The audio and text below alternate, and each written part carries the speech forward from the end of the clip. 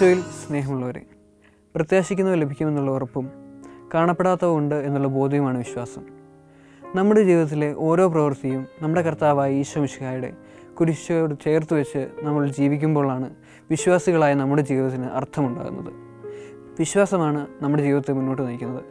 Mister പൗലോസ് ലിഹ കോറന്തോസുകാർക്ക് എഴുതിയ ലേഖനത്തിൽ ഇങ്ങനെ പറയുന്നു ഞങ്ങൾ നയിക്കപ്പെടുന്നത് വിശ്വാസത്താലാണ് കാഴ്ചയാലല്ല നമ്മുടെ വിശ്വാസം. മാതാപിതാക്കളോടുള്ള നമ്മുടെ വിശ്വാസം.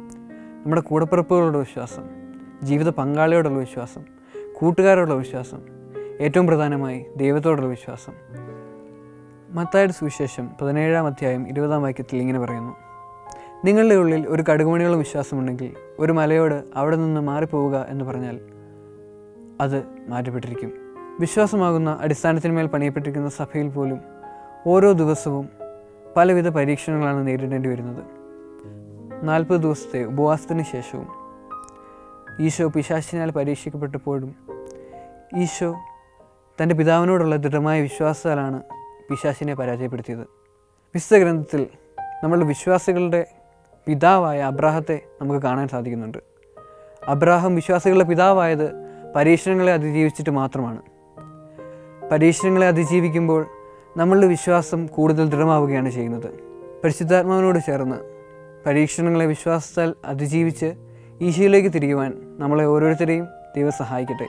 ആമീൻ. ദൈവം കരഞ്ഞ് ആർത്തനാദത്തോടെ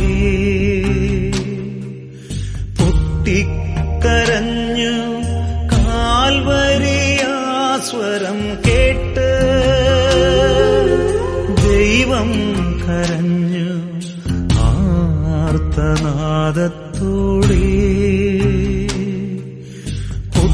പൊട്ടിക്കരഞ്ഞു കാൽവരിയാസ്വരം കേട്ട് സ്വർഗീയ വൃന്ദങ്ങൾ തേങ്ങിക്കരഞ്ഞു